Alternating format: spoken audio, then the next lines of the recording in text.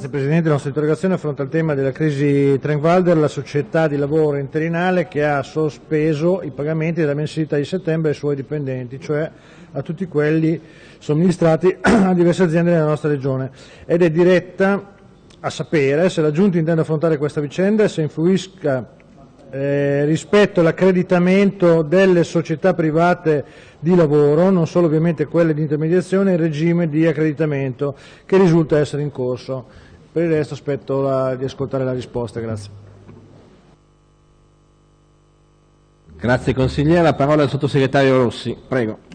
Sì, gentile consigliere Sassi, come ho già avuto modo di rispondere al collega Cagliandro, a fronte di quella che è un'avvertenza che si è aperta in virtù del mancato pagamento degli stipendi, la chiusura di alcune filiali, abbiamo deciso in accordo con il sindaco di Modena, che è il sindaco che ospita la sede centrale della ditta Trank Walker, di avanzare presso il Ministero una richiesta formale per l'apertura di un tavolo ministeriale di salvaguardia occupazionale, anche in virtù del fatto che, come lei sa, e come ricordavamo prima, le regioni, le, le regioni interessate da questa vicenda della Trank Walker e dai quasi eh, 10.000 occupati eh, riguarda appunto diverse realtà oltre a quella dell'Emilia Romagna. Per quanto riguarda invece le altre due questioni, in particolar modo rispetto al sistema di accreditamento, eh, anche in virtù del superamento di quelli che centri per l'impiego, eh, il sistema di accreditamento regionale dei servizi per il lavoro non è ancora stato approvato in via definitiva eh, dalla nostra Regione, ma la proposta di sistema di accreditamento in questo momento è sottoposto alla concertazione con le parti sociali secondo quanto previsto dalle due leggi regionali, la 12 del 2013 e la 17 del 2015. In tale proposta però sono previste regole di carattere finanziario e patrimoniale al fine di verificare la solidità dei soggetti che richiederanno l'accreditamento.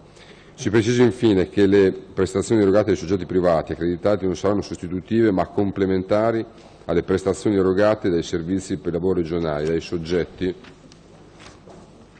autorizzati a livello nazionale e regionale, realizzando nel complesso la rete attiva per il lavoro secondo quanto previsto dal patto per il lavoro sottoscritto dalla Regione e dagli attori principali stakeholders istituzionali eh, il 20 luglio 2015. Grazie sottosegretario. La parola al consigliere Sassi. Sì, grazie Presidente. Dunque, abbiamo, in ogni caso comunque abbiamo letto nei comunicati dell'azienda e delle organizzazioni sindacali che gli stipendi a settembre dovrebbero essere pagati ai lavoratori e quindi questo ci fa molto piacere.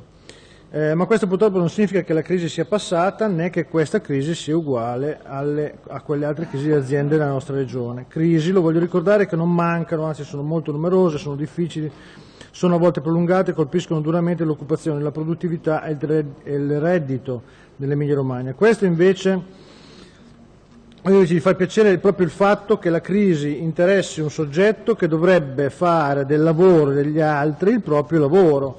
Non ci fa piacere il fatto che la crisi abbia interessato questa volta un'impresa meccanica, eh, ma chi dovrebbe fare il meccanico del lavoro, dell'occupazione e ci preoccupa perché la strategia di questa regione sul lavoro si stanno rilevando, mm, rilevando, come abbiamo detto in altre occasioni, inefficaci e inconcludenti. In certi, mh, mm, I centri per l'impiego, il sistema pubblico dei servizi è passato da pochi mesi alla Regione, li gestiamo tramite l'agenzia fatta nascere appositamente per questo, li gestiamo pagando stipendi e bollette con più di 7,2 milioni di euro di soldi nostri, regionali e Fondo Sociale Europeo, mentre prima, quando dipendevano dalle province e dal Ministero del Lavoro, dello Stato, quindi ricadevano il bilancio de, appunto dello stesso. La gestione eh, lasciano, lasciando l'incertezza, lo gestiamo lasciando l'incertezza ai lavoratori di tempo determinato che scadono, scadranno a dicembre, uno su quattro di quelli in forza Bologna, Rimini e Modena. Gestiamo una macchina che malgrado l'impegno e la professionalità dei lavoratori dei centri per l'impiego, la, la marginalissima mm, fetta di mercato del lavoro regionale, li gestiamo pensando di affidare alle agenzie private per il lavoro come la Trank-Walder numerose funzioni che ormai i centri per l'impiego non sarebbero più nelle condizioni di svolgere. Li gestiamo costruendo un sistema di accreditamento in questo campo, anche se ancora in, le regole applicative sono ancora in lavorazione. Lo stesso accreditamento da annacquare con una autovalutazione quando si parla di servizi per l'infanzia come propone il progetto di legge della Giunta sugli asili. Li gestiamo senza sapere dove andare, cosa fare e navighiamo a vista.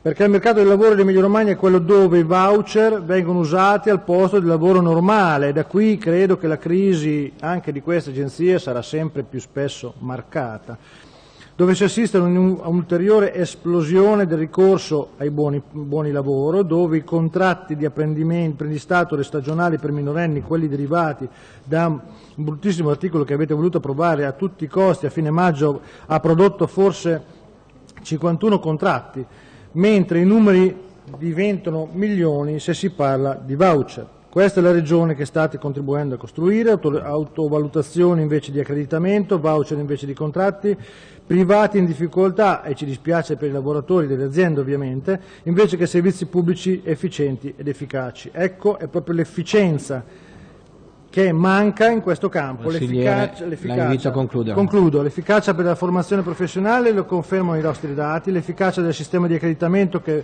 vuole essere anacquato, l'efficacia dell'innovazione normativa, visto che i voucher si mangiano il lavoro buono, l'efficacia del nostro servizio pubblico per il lavoro. Questo è quello che riteniamo stia minando la stabilità anche di queste aziende che dovrebbero preoccuparsi del lavoro altrui e eh, non solo. Grazie.